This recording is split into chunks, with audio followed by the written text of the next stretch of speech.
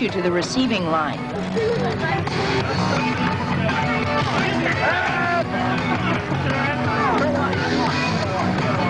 First of all, may we present representatives from the extra body part contingent?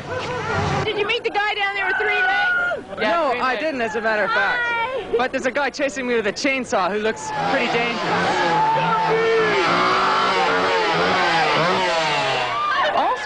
Representatives from the religious community and the not-so-religious community.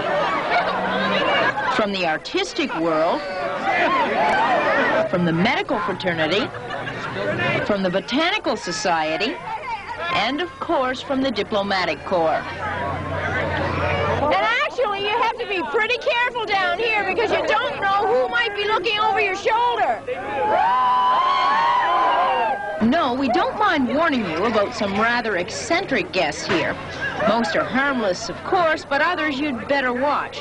And don't pay any attention to the ladies of the evening. See you later, honey. Get out my corner! Oh, yes, if you're hungry, there are refreshments. And lots of hors d'oeuvres. We got him! We got him! This is the bad one! This is the bad one! The Prime Minister himself is helping stir things up in the kitchen. Now, we know you'd like to meet some more out-of-town guests. Superman has flown in, others have rolled in, some have wheeled in, and others have danced their way to the main party at the Trade and Convention Center. By the way, lots of those in attendance thought they'd clean up at this costume contest. But nobody stood a chance against the Grim Reaper. He buried the competition, taking home first prize.